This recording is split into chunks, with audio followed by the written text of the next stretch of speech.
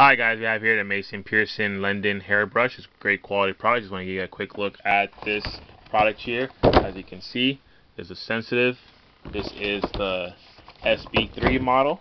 Great quality product. Dark ruby. Let me go ahead and open up this brush for you guys so you guys can see what the brush looks like on the inside here from the amazing Mason Pearson brand. Uh, so that's the brush by itself as you can see here. Sensitive. The brush cleaner as well. And also a few other details from the from the Mason Pearson brand. The care and cleaning of your hairbrush. Got a little uh, hair guide in order how to use it. So if you're interested in purchasing this please visit the link in the description below. Please subscribe to our channel and have a great day